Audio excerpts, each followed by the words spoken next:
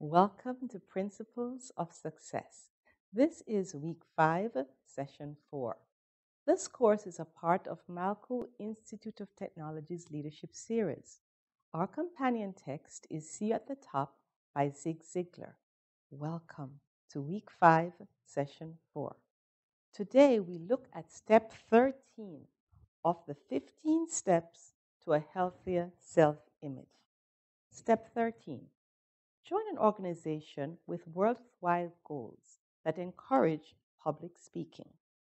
One of the best, quickest, and most efficient ways to improve your self image and performance is to join an organization that has worthwhile goals and encourages you in public speaking.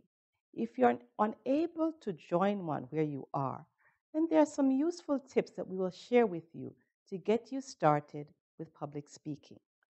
First, keep it simple. Don't let the presence of an audience spook you.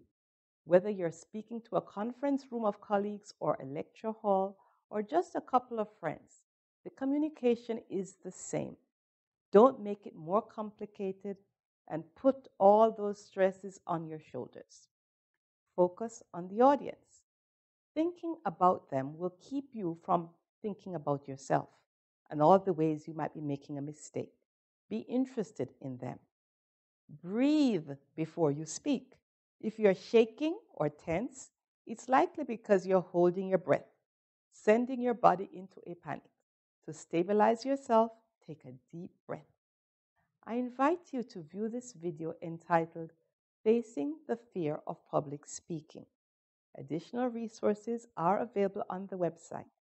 Join us next time for session five.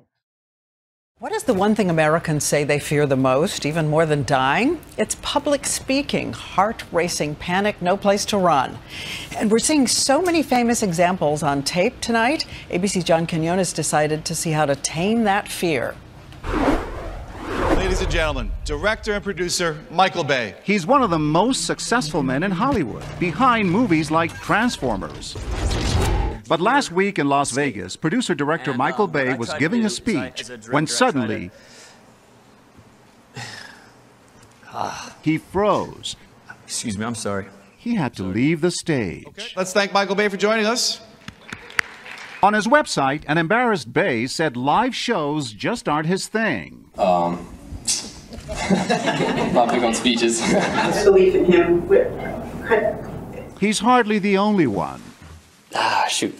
It's something Noah Gordon lives with every day. It's exhausting thinking about it.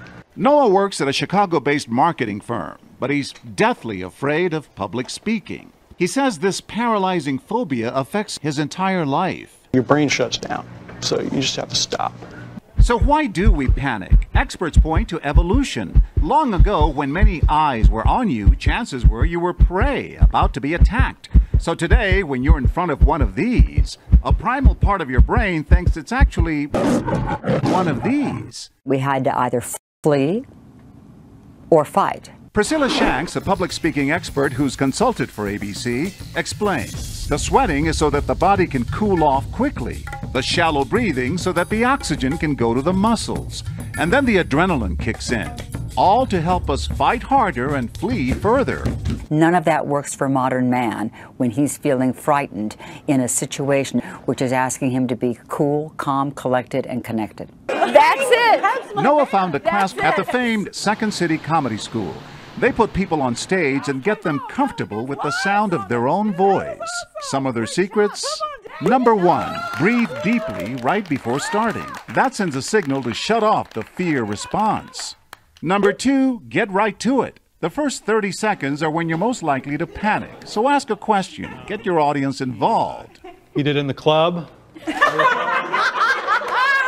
Noah says it's helping him face those cats back at the office as a lion and uh, removing himself. Rust from irons. So And here's John Quinones. He's at the Sundance Film Festival, by the way. How many people there admit they've had fear of public speaking, John? So many, Diane. Hollywood heavyweights, not only Michael Bay, but people like Kristen Stewart and Johnny Depp say they are petrified to speak live in front of a group. Okay, fess up. How about you? Fear of public speaking?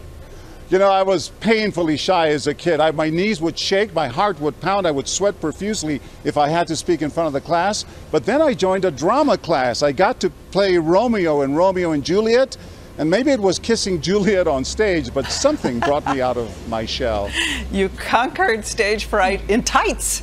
Okay, John Quinones I reporting roared. into the night. Thanks, John.